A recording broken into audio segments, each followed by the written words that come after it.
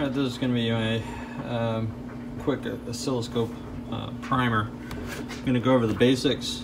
Uh, this is $100, basically a $100 scope. You can get some added features, but pretty much the $100 one is going to be all you need. Uh, you can see uh, this is the one that I have. That I, well, I own both of them, but um, this one I've been using for quite a few years. I really like it. Obviously, uh, a lot of added features on here um, bigger screen clearly. The both of them have uh, two uh, two inputs here. This one does have a, uh, a reference waveform of one kilohertz. Um, but and uh, this guy right here actually you can buy a feature it's uh, the generator output. So, for appliance repair. You can use it let's say if you want to trigger uh, an inverter to, to operate uh, three-phase inverter or something like that. But overall, it's really not all that useful in the field, uh, and that's really what we're going to concentrate on. This guy right here is my um, lab oscilloscope, and uh, I love this guy, but you can't really use a lab oscilloscope like this in the field when it's really big, bulky, heavy. You don't want to carry this thing around in your van um, you know, it can get damaged. There, you know, so it's uh, it also uh, uh, you have to also have uh, an isolation transformer like that one or like this one. So I have two. This is an actual auto transformer, so I can't use that. But basically, it isolates anything you're testing, um, and it protects the scope and protects the equipment you're working on. So. Uh, really, for this video, we're going to be focusing on um, these guys right here. The nice thing about the small one is it is small. It, the, the case, which is this guy right here, we'll open it up, see some of the stuff you get in there. There you go, some nice little pocket. It's, it's a semi-hard, semi-rigid case. Uh, feels pretty sturdy, uh, as opposed to, it is a softer case so there we go. Uh, but you have more pockets. Um, I don't know. Both are both are good. I probably I like the hard case uh, for the small one better. Um, it's not too big of a deal. Um, also, when you're using this, you you don't want to to to plug it in, right? So you don't, when you charge it, you don't want to uh, use it. Turn it off, and the charging port's in there. So that's that's basically it charging right now. And you want to, you can charge it overnight, and that's fine. But when you're using it, you have to use it with it unplugged from the power. Um, it basically isolates the scope from the equipment you're working on. So it protects the scope, protects your equipment. Um, so that's a very important thing to remember when you're using uh, the scopes. I'm going to go ahead and show you the features uh, of this oscilloscope because it's uh, it's cheaper and it'll do the job. I'll show you how to how to use it so what I'm going to do now is go ahead and uh, show you how to connect the uh, oscilloscope. Uh, what you're going to need really is this guy right here. The ground has the little nub sticking out here. I did find that these are recessed, so if you have kind of bigger fingers, this is a kind of a, a chore to get in there and, and, and twist it. But that BNC connector needs a twist on there. So we have ground over here.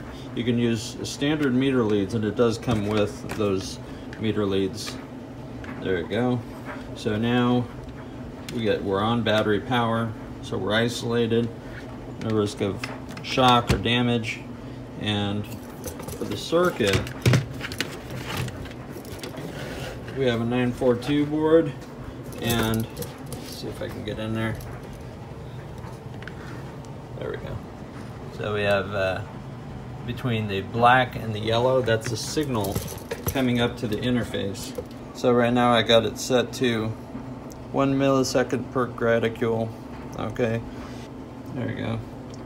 So when we adjust the uh, temperature, you can see that you're going to see those pulses. Now, what happens if I transfer over here to the red? There we go. Okay, so the right, left and right arrows uh, will get you a change in the voltage. If you disconnect the power, watch what happens. You see the voltage kind of go down over time. You put the power back in, and now we have 12 volts. Now how you read this is you have 5 volts per graticule, so it's one, two, three.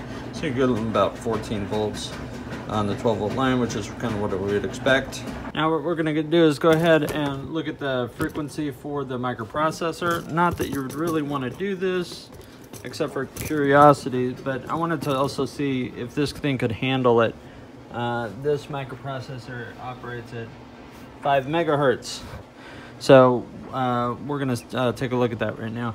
Now I'm on the pin, but you can see it's not set correctly. So what you can do on this one is press the auto button now it takes forever, but eventually it gets there. So based on the signal input, it'll automatically do the settings for you. So that's a good uh, estimation of what that waveform looks like. Uh, so it's it's doing its job. And what you can do is just pause it right there, and then you can take your lead off and you still have the waveform there. You can take a picture for your reference if you want. So, And uh, as far as uses for it, uh, the main troubleshooting I do is for like MCU, CCU, communication. So I don't have to guess at where the, if, if the communication is stopped here or it has communications here or there. Um, I can see the data coming in and out. Now how it works is, is if you have uh, you have the interface, all right, it will have communication out to the microprocessor and then the microprocessor will communicate back to. So it's talking back and forth. So that means if I have a separate supply, if I disconnect this guy and I put my leads on there, I'll still get the talking to the interface. I just won't get the talking from the interface. So that's some, one way you can use this to see where the communication is stopping. And I've used this on LGs, on Whirlpools, um, and Samsung's. You know, communication is with all of these brands, and uh, so it's it's helpful to have that. Um, I have on one case uh, there was a Maytag interface that I didn't know if the interface was talking to the control board. So I took the interface out. I used my DC power supply, powered it up with 12 volts, and I saw the communication coming out. So I knew that the interface was okay. And so that's uh, just, it's a useful tool to have. And for a hundred bucks, I mean, you can't go wrong.